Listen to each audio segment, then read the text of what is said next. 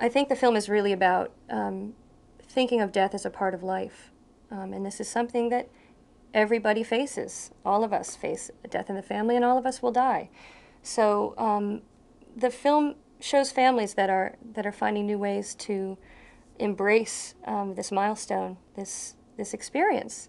Um, that is a very important experience, and um, sort of reclaim the end of life together.